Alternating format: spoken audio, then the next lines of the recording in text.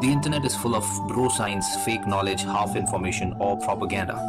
Your quest of reliable, authentic health information ends here. So subscribe this channel and hit the bell icon and you never have to go anywhere else ever again.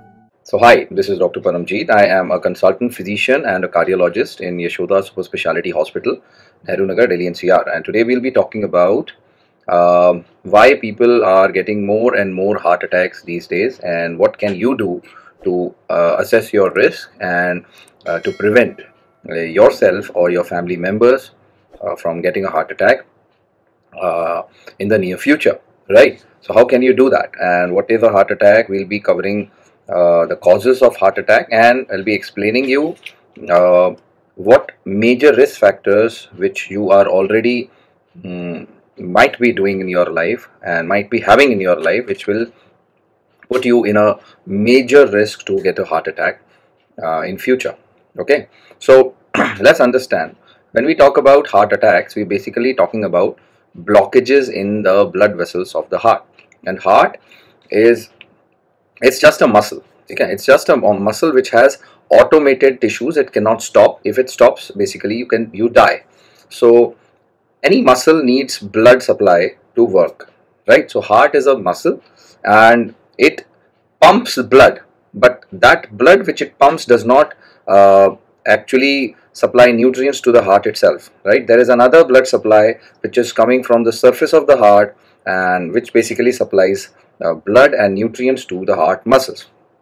So basically there is a different blood blood vessels for the heart okay and these are called coronary arteries. Well name doesn't matter but the concept matters. Concept is that there are different blood vessels and such blood vessels they supply blood to every single organ of your body including your lungs your liver and your brain your skin every part. So what exactly happens to you which leads to a heart attack? So basically some people they blame the diabetes they blame cholesterol sometimes they blame smoking but all these are different things, right? What is the primary reason? What is the main reason uh, which is triggered by all these conditions, all these risk factors?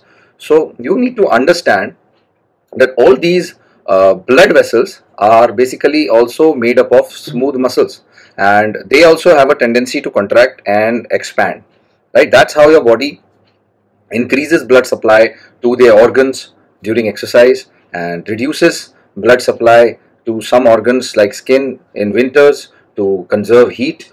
So basically what I'm saying is heart is a muscle, blood supplying blood vessels are also muscles and there is an inner layer of that muscular circular or you can say uh, the blood vessel. It's like a pipe and pipe will have an outer layer and an inner, inner surface basically. So the main inner surface of this blood vessel, the pipeline is uh, called the endothelium because it's inside. So endothelium is the epithelium which is inside the blood vessels. So what is the problem? Why some people have blockages in their heart, some people don't, some people have less blockage, some people have more blockage. What leads to this blockage? The main reason is this endothelial injury. Okay, this inner surface of the blood vessels of your uh, body, of the it doesn't matter whether it is your heart, it's your brain, it's uh, kidneys, it's your leg, anywhere. And there are like millions and millions of blood vessels in your body and one of the main organ is heart which cannot stop. The other organs they get rest, they can they can stop and do work but heart cannot stop. So blood vessels have inner surface which is called endothelium and endothelium whenever the endothelium gets damaged endothelial we, we call it as an endothelial injury okay? So endothelial injury is just similar to a scratch which you get when you fall from a bike or from a from a bicycle. It's like a scratch. So it basically peels off the protective layer of epithelium or the skin which you call you, you call the outer skin there is an inner skin. So it peels off the skin and it, leads to a little bit of blood leakage right? Just like reddish color comes when you get a scratch sometimes you can get drops of blood and then it stops. You've seen it stops uh, it clots and there are like uh, scabs or we what we call as a clot which form and there is a thick brown colored sometimes black colored layer which forms over there. So that is the same thing which happens inside the blood inside the blood vessels right? So inside the blood vessels whenever there is anything which causes endothelial injury there is injury and there is bleeding and there will be activation of all these clotting mechanisms platelets cholesterols fibrins and all these things which are which are meant to clot the blood go there and they stop the bleeding. They stop the fill the injury and they fill the injury with cholesterol platelets other fibrins and they form something called as a plaque. Okay? Initially the plaque is small but whenever there is a plaque it's a sticky place i mean there is always a tendency for uh, more uh, the plaque to get bigger. Because whenever like i said this this blood vessel has a tendency to uh, contract and relax. It's not fixed. And whenever there is an injury consider an injured blood vessels dilating. Consider that the injured blood vessel is dilating it's it's expanding. Obviously the tear the injury will expand. Obviously the injury will expand so the size of the injury will increase the endothelial injury size increases so does the size of the plaque increases because your body cannot allow your blood vessel to break right to burst. If your blood vessel bursts you might die. If it is a bigger blood vessel there will be internal injury. You will not know where the blood is uh, not going. If it if it bursts inside the brain you, it causes a hemorrhagic stroke. If it is something like inside uh, burst inside the heart there is blood uh, which gets accumulated around the heart then stops the heart. So it's a dangerous thing. So therefore there is a mechanism inside your body to prevent bursting of the blood vessel that's how it does. Okay? So the main factor here is endothelial injury. So who causes this endothelial injury? And these all factors which we basically say there's smoking. Smoking the smoke has more than 7000 chemicals out of which like at least one uh, few hundreds are carcinogens. They are cancer producing um, substances. And smoke by itself uh, increases inflammation inside your body. And what is inflammation? Inflammation is like cytokines are basically the army and police and other people right? Obviously imagine if you have uh, a crowd of army and police people outside your house and they are angry or they are fighting the enemy or whosoever obviously there will be some damage to the boundary of your house right? Same can happen same thing happens whenever there is any inflammation and whenever your body is fighting any infection there is collateral damage of whatever the area whatever the reason the fight is going on right? Same way if the, if you smoke if you regularly smoke or then there is increased amount of inflammation in your body whatever is usually happening in a general person smokers have more inflammation. So they have more number of endothelial injuries and over a period of time their elasticity of those arteries they reduce. So when the elasticity is reduced and the artery stretches there will be a bigger tear. There will be a bigger uh, endothelial injury. There will be a bigger plaque. So smokers have bigger plaques. They have more chances of blockages. They have more chances of heart attack. That's how it happens. So the more you smoke the larger and you can say the bigger amount of risk you have. Right? The less you smoke the less amount of risk. If you don't smoke obviously that particular risk reduces. That does not mean person who does not smoke will never get a heart attack because this is not the only reason right? This is not the only reason your endothelium can get damaged your boundary of your house can get damaged. There are so many things right? And there are diabetes. High sugar if it stays inside your blood obviously it's going around in the blood vessels right? If it stays inside the blood it is it causes inflammation by itself. High amount of sugar if it stays inside your uh, blood vessels it causes inflammation. If that person smokes double inflammation right? And if that third person has you can say high blood pressure that means inside the blood pressure inside the blood vessels is high. That means whenever there will be a crack there will be a little bigger crack obviously if there is the pressure is high right? So high blood pressure increases these endothelial injuries diabetes increases endothelial injuries uh, smoking increases blood endothelial injury obesity. Obesity basically puts a lot of stress over your body. If you are 10 kgs 20 kgs overweight right your body is always carrying that load of 20 kgs over your over your heart over your body. And you you will have more higher blood pressure you will have higher body mass you will have higher pulse rate you will have more uh, cholesterols because all these are a part of metabolic syndrome basically which we call as a uh, the, the combination of uh, obesity and uh, the waist circumference, inactivity, right? And the third biggest thing is uh, what you call as a I haven't uh, mentioned cholesterol because there was a time when people used to blame cholesterol, just the cholesterol. Because why? Because wherever there is an endothelial injury, who is going there and helping to you know make the plaque? It's the platelets, the cholesterol, the fibrins, and we need the platelets because who will stop the injury which is happening outside the body if we don't have platelets? So people think, okay, we need platelets, we cannot reduce platelet count, or else there will there can be bleeding, so we can reduce cholesterol. So if that is above the normal range, you know, if you have very high cholesterol, obviously we should keep it in the normal range or in the lower side. And that's why people give you cholesterol medicines, they view diet. And the best way to control cholesterol is diet and lifestyle, exercise, eating a lot of fruits, fibers, salads, right? So, but still, if you have a, a very high cholesterol, medicines can be given, should be given for some time. But that does not mean that if you control cholesterol, plaques will not happen. They will still happen because even if there is less cholesterol and there is bleeding inside, there is endothelial injury, your body has to seal it. Your body has to make a plaque. Less cholesterol, maybe there will not be a huge plaque, but there will be plaque. Alright, so if you keep the cholesterol in control, maybe a little risk reduces, maybe not. Because if you have a less amount of cholesterol, still you do smoking, uh, diabetes and all other bad things, still a lot of injuries can happen, still you can develop a lot of plaques and a bigger, bigger plaques. So cholesterol is not a major factor. It was thought to be in the past, but now it's not. Okay, but still, the cholesterol is a primary thing which you should check regularly. If your cholesterol is very high, obviously you're not having a good diet and lifestyle. That is a marker of that. If you have a good lifestyle, your cholesterols will be in control. So, to assess your lifestyle, you should do cholesterol test and if it is really very high specifically the ldl cholesterols then definitely you should uh, change your lifestyle or if, you, if needed take some medicines for that so cholesterol is a factor not the biggest one because let me tell you when research was done if you see research right more than 65 or 70 percent of the heart attacks which have happened they had normal cholesterols right so that does mean that cholesterol levels are not actually the primary reason right so who is the primary reason those are the endo the factors which lead to endothelial injuries.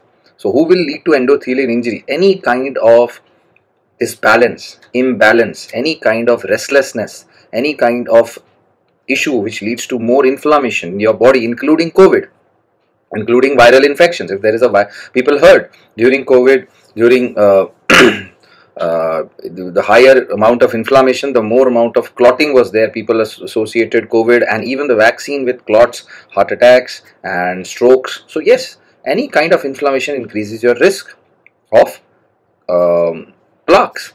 So, these are the factors. Then there are many more factors which keep on adding over the period of time. Like currently, just a few uh, a few months we can say back, sleeplessness, insomnia was also added or lack of sleep was also added as a, as a factor, a big factor for heart attack. So if you don't rest properly, if you don't take proper sleep, then that increases inflammation inside your body, increases inflammation in the blood vessels, increases endothelial injury, increases the plaque, increases the chances of heart attack.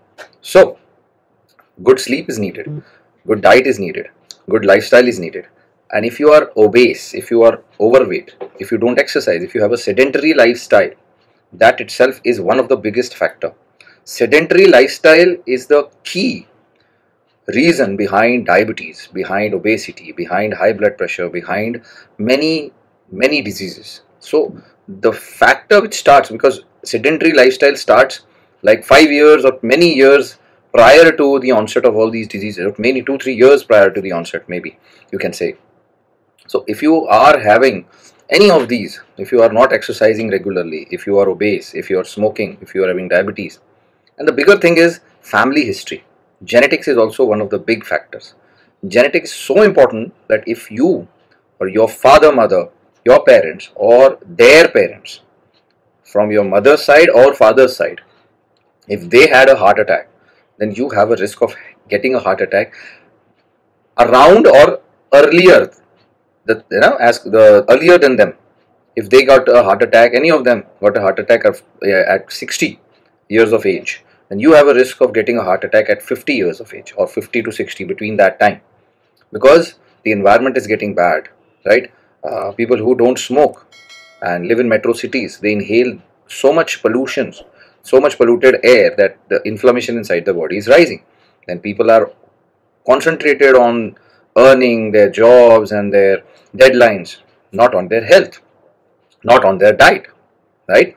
So we need to we need to understand, relax, and step back and look for what we are doing wrong in our lives. If you don't do that, then you never know what you are, you know, where you are headed. You might be doing something wrong, or there might be some insulin resistance or high sugar going on, or maybe high cholesterol going on inside your body from years. If you haven't tested, then you will not get any symptoms, right? High blood pressure, uh, borderline high diabetes, cholesterol levels if, if they are high they will not produce any symptoms zero symptoms. You will feel just sometimes you'll feel weakness sometimes you'll see okay i'm not able to sleep i'm not able to concentrate but you don't get any major symptom right? So the only thing which you can do is re-evaluate your lifestyle and do checkups. And then see if you have any history of heart disease in your family then it's very important for you to do these checkups right? To be connected with a good doctor with a good cardiologist regularly consult a doctor right? And you can regularly yearly basis you can do you know, tests health checkups so that your body uh, cholesterol levels sugar levels blood pressure heart uh, compliance is under control. You can check your crp levels whether the overall inflammation in your body is under control. So if any marker is is abnormal it suggests there is something wrong you should even know even if your rbc count is high your red blood cells counts are high, your platelet counts are high, all these can lead to increased number of clots being produced in your body.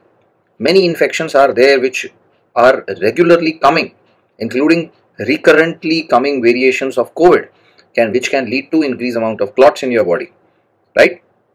Maybe if 100 people, even if it is mild viral infection, not even even if it is not COVID, some other infection might increase the risk of clotting, right?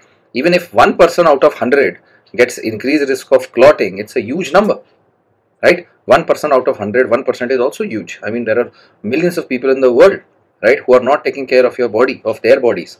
So, where do you stand? Have you done a health checkup, a cardiac health checkup in the last maybe one year, two years? If not, you are ignoring your health. If not, you are ignoring your health. Do you have an exercise routine? Do you sleep well? Do you drink enough water?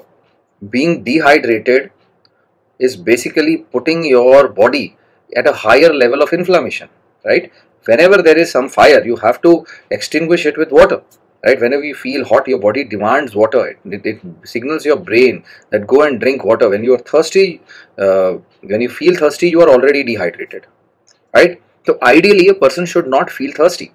He should drink that much amount of water and it depends on the person's activity on the temperature of that area on the person's body mass. So anywhere between 3 to 4 liters of liquids any liquid are required for a person throughout the day some can be water some can be any kind of juice milk tea coffee everything included.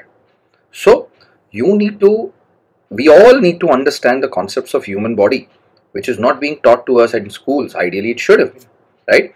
It should have. I mean this is so important right? This is what determines whether or not we will have a heart attack in the next 10 years, whether or not our mothers and fathers will get a heart attack in the next 10 years, right? So, it's very important for you to reassess your lifestyle and find out if there is one factor in your life which can increase inflammation or endothelial injury in your in your body right? So let's understand let's revise. What are the causes of endothelial injuries? What are the causes of building plaques?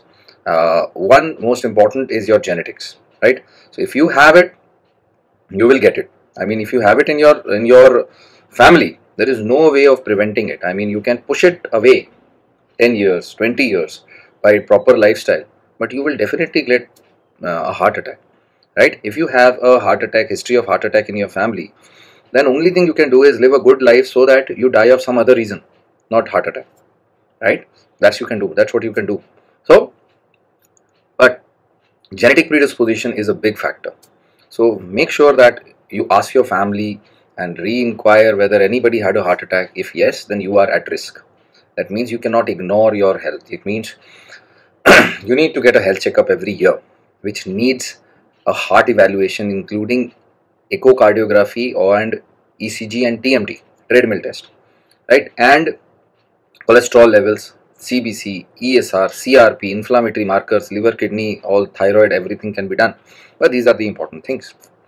Then you should take at least 7 hours of sleep. 6 hours is barely minimum bare minimum passing marks. Nobody wants to be at the passing mark level of health.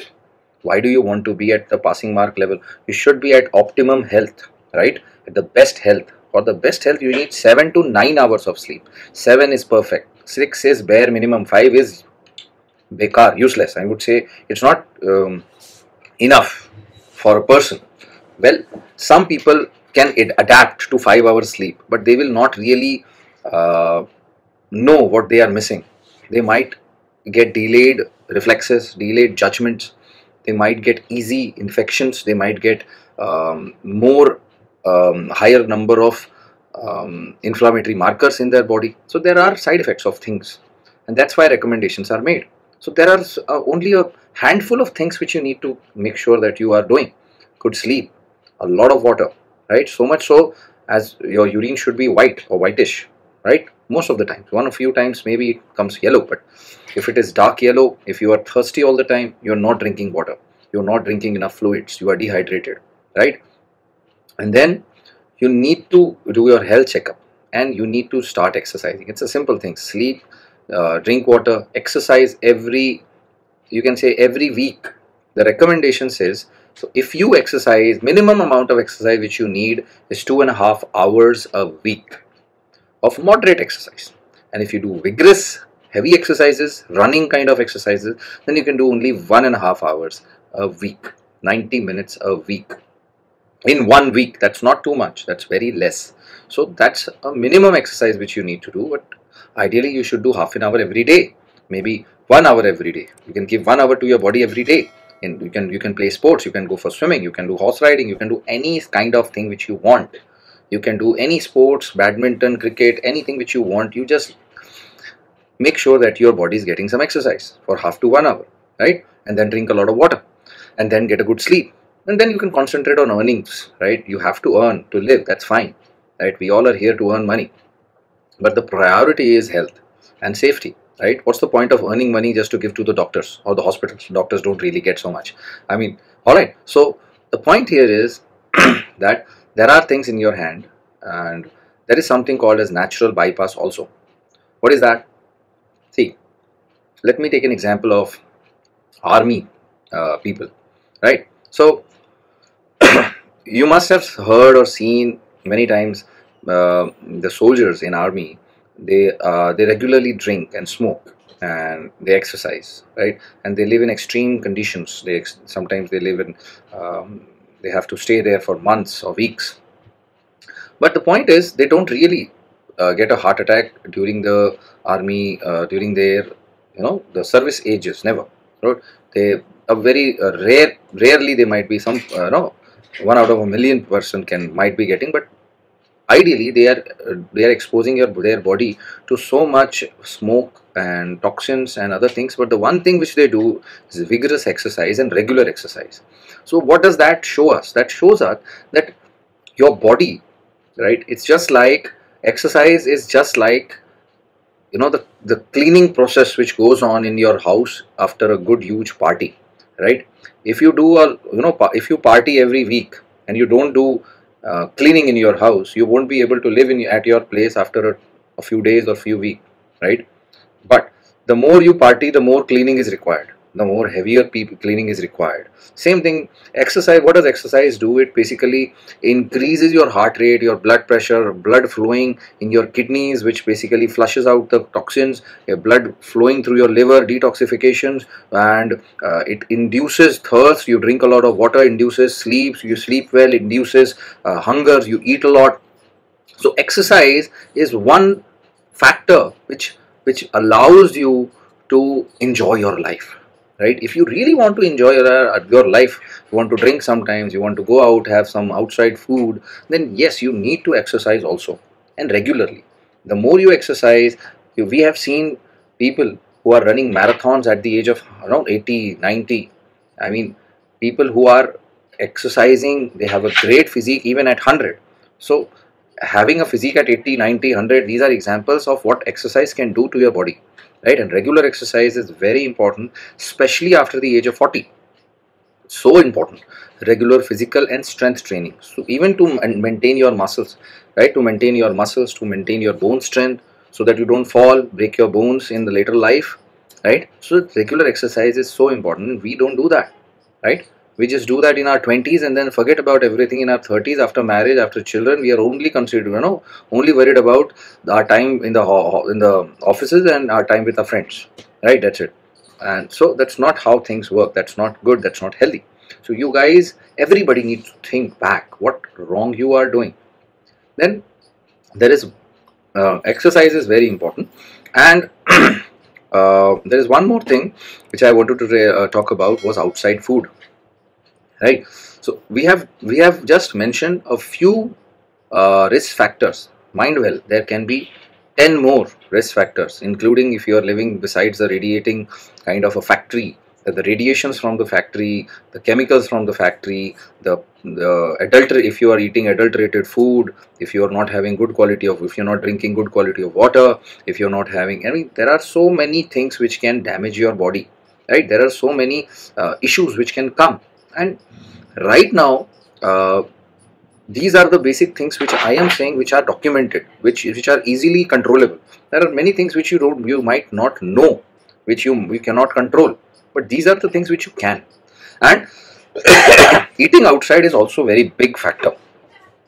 When you eat outside or consider this if you have a if you have your own restaurant or so and you are giving them a healthy food it will and and somebody else is using a lot of butter a lot of high um, heat right? What does high heat do? Because you you might have seen the restaurants have big stoves right? Our home stoves are uh, very small and the restaurant stoves are big big.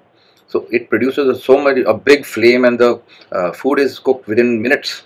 And that high heat it basically burns the surface of the food sometimes uh, barbecue burns the surfaces blackish uh, including the whatever you barbecue.